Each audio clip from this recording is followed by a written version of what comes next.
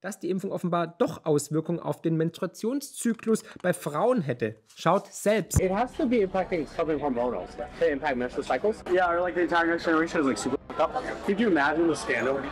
Oh my god. Zum Hintergrund der Story. Im Video zu sehen ist Jordan Tristan Walker. Er ist seines Zeichens Director of Research and Development Strategic Operations NMRNA Scientific Planning bei Pfizer. Ziemlich langer Titel.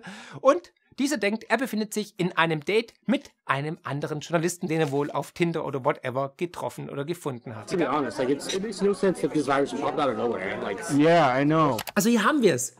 Das ist ein Geständnis, das ist ein Eingeständnis. Und zwar von einem hohen wissenschaftlichen Mitarbeiter von Pfizer, der drei Stufen unter dem CEO Albert Burla richt- berichtet, dass das Virus unmöglich aus dem Nichts erschienen ist, natürlichen Ursprungs ist, sondern im Labor gezüchtet wurde.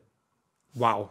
I think the whole like research of the viruses and mutating it like would be the ultimate like cash cow. Cash Cow. Also eigentlich eine Gelddruckmaschine.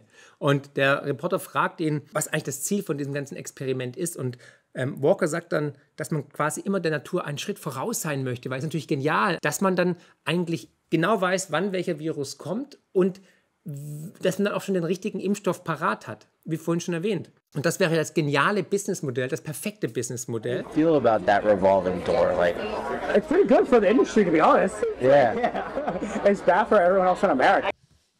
Ich bin immer noch fassungslos, dass er das so witzig findet und das ganze Zeit mit so einem Lachen auf dem Gesicht sagt, aber das muss ich, glaube ich, alles gar nicht groß kommentieren. Es ist wirklich eigentlich einer der größten Skandale der letzten Jahrzehnte. Denn er spricht ganz klar davon, dass die Regulatoren nicht sehr streng sein werden, wenn es um eine Zulassung geht, weil viele von ihnen später auf eine Laufbahn, auf eine Karriere, auf einen Golden Handshake in der Pharmabranche natürlich hoffen und liebäugeln. Aber es wird es wahrscheinlich auch in Deutschland geben. Ne? Grüße an unseren Gesundheitsminister. Nice.